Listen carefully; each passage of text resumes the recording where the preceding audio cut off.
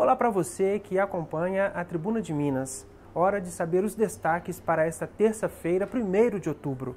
Na edição tem a abertura da série Existe Esperança. Durante oito semanas, a tribuna vai tratar do desafio que pacientes diagnosticados com câncer de mama e de próstata enfrentam desde a descoberta da doença até a alta médica. Durante as reportagens, o leitor irá conhecer histórias de pessoas que lutaram e superaram a doença e qual o caminho percorrido para o tratamento na rede SUS.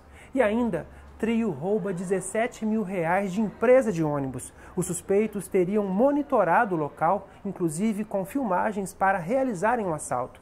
Depois do crime, eles foram detidos em um motel. E também Mulher de 22 anos acusa o filho do namorado de estupro. O suspeito, de 31 anos, teria forçado a namorada do pai a fazer sexo com ele, armado com um facão. O crime foi registrado na zona sul da cidade.